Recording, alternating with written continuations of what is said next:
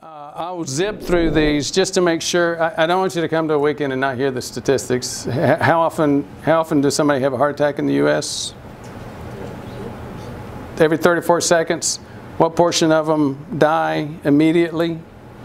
A half of them. So somebody's dying every minute. And so half of those folks find out they're having a heart attack by dying.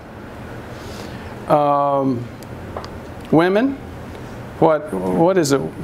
30 women die of heart attack for every one that dies of breast cancer. I know many of us have been touched by breast cancer in our family. This is not to denigrate breast cancer. This is to make the point that heart attacks among women tend to be ignored.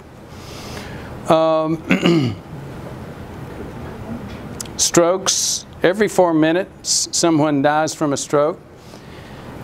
And the guys that survive a stroke often wish they had not. Stroke is the number one cause of permanent disability in the world, mm-hmm. or in this country, and rapidly becoming in the world. So back to the hero's story. There's a lot of, of realities in our culture about aging and heart attack and stroke and death. And I'm just putting some up there that I think are true. Some of them I'm not so sure are true.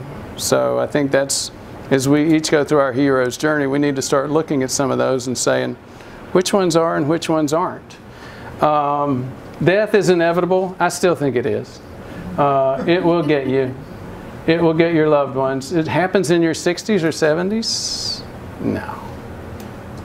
Aging is inevitable? Well, it depends on how you define it. Disability is inevitable? Absolutely not. You lose your sight, your hearing, your sex life, your ability to walk, run. No, you shouldn't do that. That's not, that should not be your expectation. You spend your time caring for a disabled family member. So, again, it's your journey. You need to think about where you're going with it. And, um,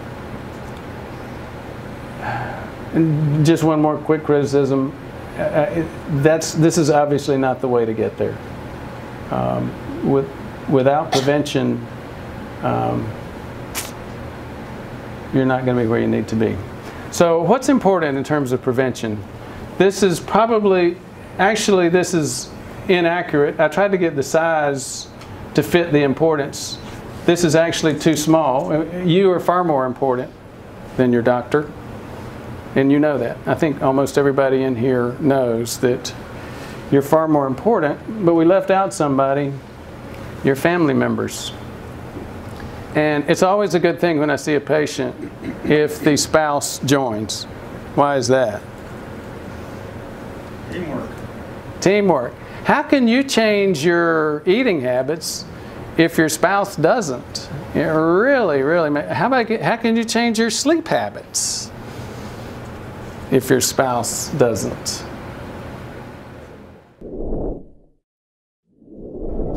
If you don't know this already, take it from me. You don't want to suffer a heart attack or a stroke. You don't want to hope for treatment after these have already happened.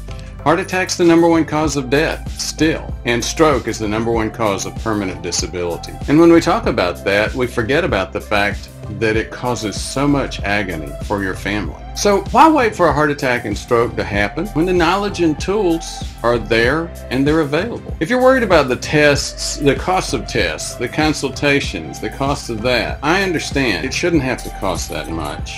Taking first steps for your health should not be that expensive. My name is Ford Brewer. I'm a board certified preventive medicine doctor. I used to teach this at Johns Hopkins.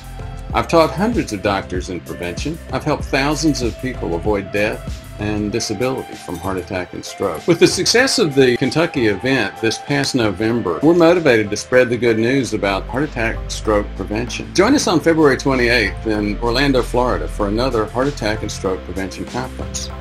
For only 740 bucks, this is an excellent opportunity to have your CIMT and know the actual risk for cardiovascular health. Learn about plaque, inflammation, insulin resistance, and taking charge of your health in ways that you may not know. And that's not all. Sign up for the full package. You'll have more. Not only the necessary lab tests, but I will be your doc and Janice will be your health coach in moving forward and getting control of your health and preventing that heart attack or stroke. Believe me, heart attacks and strokes are optional.